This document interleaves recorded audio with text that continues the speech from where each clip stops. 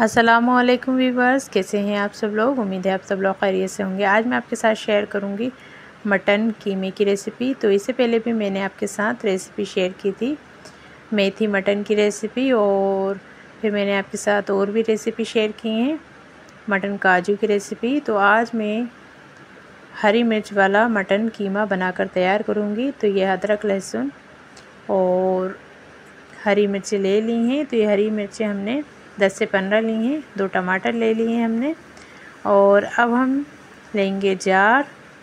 तो जार में डालेंगे हम अदरक, लहसुन और हरी मिर्च।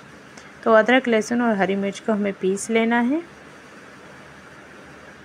तो ले हरी मिर्च जो हैं बड़े साइज़ की हैं तो आप इसके हरी मिर्च के एक मिर्च में से दो टुकड़े कर लें और फिर इसको जार में डालकर पीस लें। तो इस तरह से देखिए, हमने दो टुकड़े कर लिए हैं हरी मिर्चों के। और जार में ये शामिल कर ली हैं। तो आप इस तरह से एक बार ज़रूर बना के ट्राई करें। इंशाल्लाह आपको बहुत ज़्यादा पसंद आएगी ये रेसिपी। तो ये सारी हमारी हरी मिर्चें कट चुकी हैं और अब हम इसमें शामिल करेंगे। तो इसमें डालेंगे हम खड़ा गरम मसाला।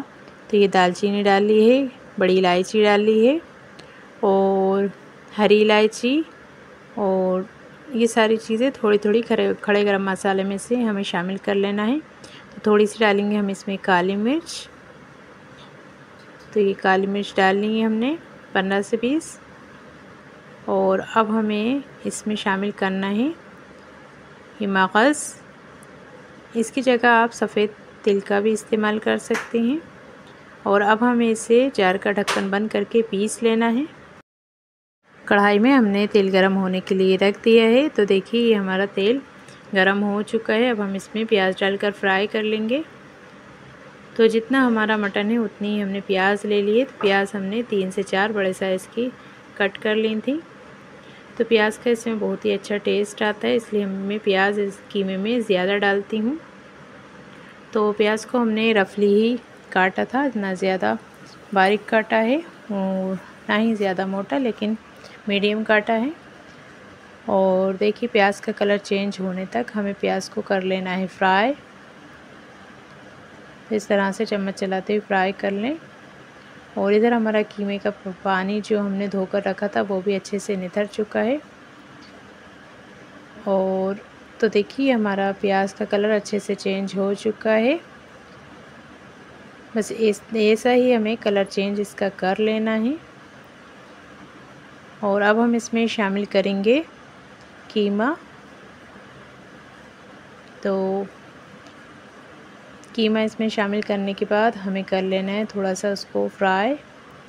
तो सारा इस तरह से हमें कीमा डाल लेना है। और जब मैं प्याज को फ्राई करती हूँ तभी इसमें कीमा भी फ्राई हो जाता है। तो इस तरह से आप सारा कीमा शामिल कर लें और ये कीमा हमारा कढ़ाई में गल जाता है क्योंकि हम इसकी बुनाई करेंगे अभी। और जो हमने पेस्ट पीस के रखा है, वो भी इसमें शामिल करके थोड़ा सा हम पानी शामिल कर लेंगे। फिर हम इसकी जब बुनाई करते हैं ना तो उसमें ये हमारा कीमा गल जाता है।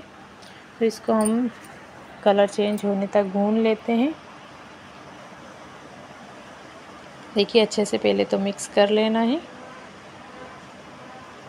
तो अभी जब हम कीमे को प्याज में डालते हैं, ना तो ये पानी छोड़ने लग जाता है। और अब हम इसमें शामिल करेंगे नमक तो अच्छे से हमने कीमे को मिक्स कर लिया है। बस अब हमें नमक शामिल कर लेना है, ताकि जो इसका आप जोश पानी है, वो अच्छे से कीमे में उतर जाए। तो जिससे कि टेस्ट बहुत ही अच्छा आता है। तो ये हमने नमक डाल लिया है। और नमक डालने के बाद मिक्स कर दें अच्छे से चम्मच से या फिर झारे से। जैसे मिक्स करना है, इस तरह से मिक्स कर लें। तो देखिए, आपने दिख रहा है कढ़ाई में पानी तो कीमे ने पानी छोड़ना शुरू कर दिया है। और आज हमने तेज़ ही रखी है, सिलो नहीं की है।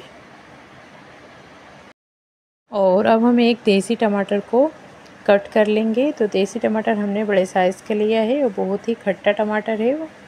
तो देसी टमाटर खट्टे ही होते हैं, जिससे कि बहुत ही अच्छा टेस्ट आता है। हम जो भी सालन बनाएँ, ग्रेवी बनाएँ तो उसमें टमाटरों का टेस्ट दुगना हो जाता है। तो देखिए, हमने टमाटर डाल लिया है। अब इसको भी अच्छे से मिक्स कर लेंगे ऊपर नीचे से।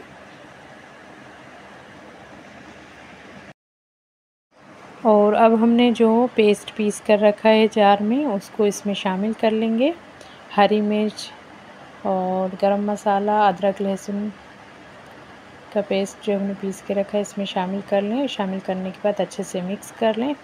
और हाँ जार में जो पेस्ट रखा है, उसको भी आप शामिल करके इसमें डाल लें। और फिर ढक्कन ढक कर के या फिर ढक्कन खोल के भुनाई कर लें इसकी। तो हमें इसकी अच्छे से भुनाई कर लेना है। जब ये भुन जाएगा ना तो कीमे का कलर बिल्कुल अच्छे से चेंज हो जाएगा।